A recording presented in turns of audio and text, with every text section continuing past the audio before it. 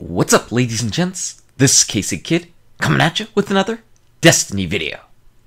So we did it. We finally took down Oryx on hard mode. King's Fall is down. The trophy is mine.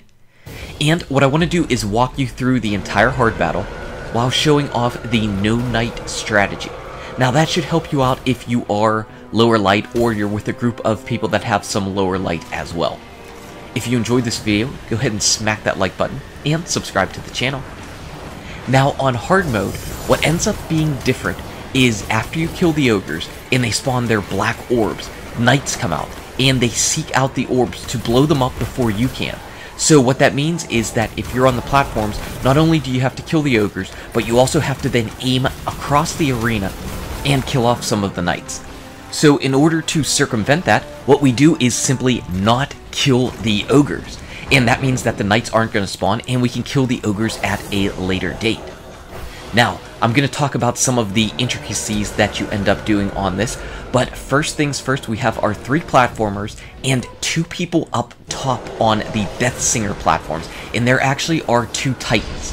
What's going to happen is one of those titans is going to pop a bubble with Blessing of Light, and with the Touch of Malice and Blessing of Light, they're just going to back and forth, walk into the bubble, and do pot shots at the ogres, all four of them, and take them down. You can see that I didn't even fire one single shot at the ogre. I basically crouched down as far back on the platform as I could, and just to make sure that the ogre never shot at me. After that, I'm up here and I can look around and deal off shots at the ogres, any ogre that isn't low health just waiting around. We're now waiting for Oryx to slam, and you can see that he did just slam. Again, I just took a final look around at those ogres to see how low they were.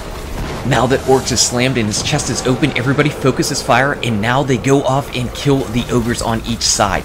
This one had a little bit of health, but I still managed to take him down, and we run as quick as possible to the orbs. There's no countdown or anything, because the knights, again, the knights spawn out immediately on kills, and the vessel is still out. So that's why you don't want to actually wait. As soon as you kill those ogres, you have to run down and go into the orbs. There's no waiting around, no countdowns, no nothing. That's why you want to have those ogres really weak, just so that you can finish them off after the slam, and then just run down and get your orb. And you don't have to worry, there's going to be plenty of time after Oryx staggers to kill the ogres and get down and everything like that. Just don't panic or anything. We're obviously in the run around phase, and everybody should know where they're supposed to be running around to stay safe. This is pretty much the area where people die. If you have Sunsingers, that's okay. Just wait to revive until after all of this bombing and white bombs of exploding light are finished. Now, what we do, I want to get into what we do on the platforms. We actually have people designated to specific parts of the Oryx sequence. So it's not like we're always at the same platform. I'm always in the third position. I have Ray, he's always on the first position, and his buddy Jot is always on the second. Now, the reason why we're moving around like that instead of sticking to one platform is so we always have the same two people up top on the sisters' platforms. And that's so we always have our two titans up. So moving around platforms can be a little bit confusing the first few times you go through, and you'll be like, ah, man, this doesn't feel right, this is dumb, this is just stupid. But it really does work. It really helps to keep the same people up there and the same people used to going where they need to go. For instance, since we're always going to have one extra platform that we need to get in orb for, Bulldog has volunteered to always run down and grab that extra orb, wherever it is, on whatever platform somebody's not on. So again, we have one person that's always on Oryx's Slam. We've got then our second in position person, and then I was always third in position on the Ogre platforms. And we just walked around like that, and we rotated as needed. Again, it ends up working. Pretty much the interesting thing with this Oryx fight is that it's not like other fights. There's no way to do it quicker. You know, it's not like Golgoroth, where you can deal out more damage and get the fight done in half the time you normally would. No, you pretty much are in concert with your teammates. Everybody has an extremely important job. That's why everybody needs to stay alive the entire time, because everybody is vitally important.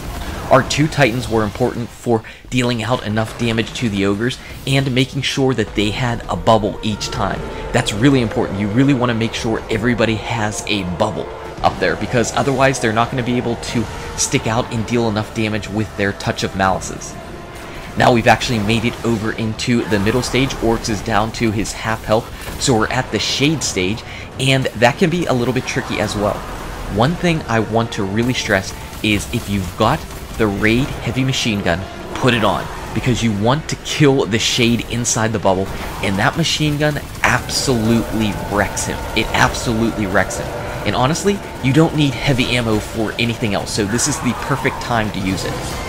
You can see that as I was teleported back, I was immediately into a bubble, and that's because when one of our titans ended up coming back, he popped a Blessing of Light bubble right in the middle area, and that's really good because you get teleported back randomly, and you never know when the Shade is going to be running around swinging his sword in the middle, and if you get teleported back right as he's doing a slam right there, you're going to die, and it's going to stink.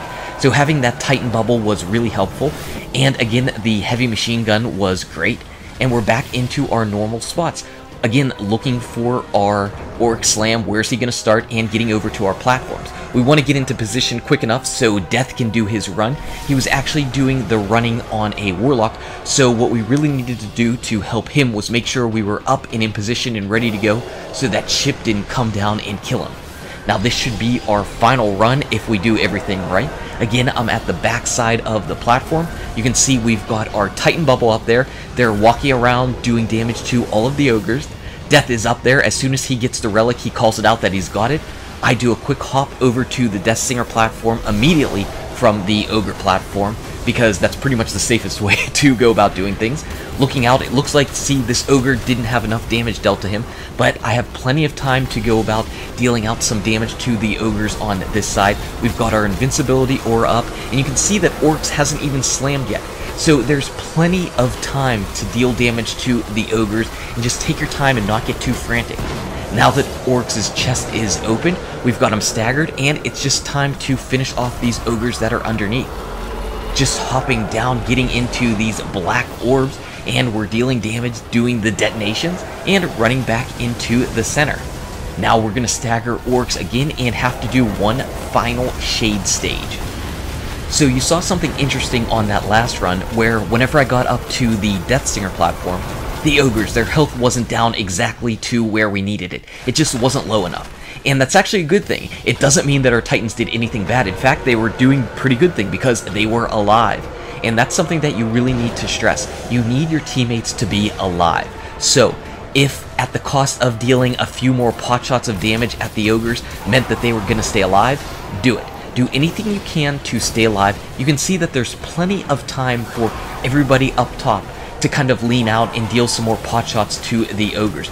Don't worry about peeking out and taking one final hit at the ogre at the cost potentially of your life. No, just jump in the Titan bubble that's up there and just stay safe, especially whenever that ship comes around or if Oryx happens to be blasting at you. Just stay in the bubble and wait. Wait until you've got the shield back. Wait until some of your teammates come up and can deal out damage to the ogres. Whatever it takes, stay alive because that's the only way you're going to be able to do this. You need absolutely everybody in order to do this. Of course, if it's at the last stage and you lose one or two people, don't wipe. Just try to 4-man it or 5-man it, whatever it is to the end. But in the beginning, keep everybody alive. That is key number one. So now that you made it through the second Shade stage, it's down to our final platforming to kill Oryx. That's it, and you can see he is slamming there.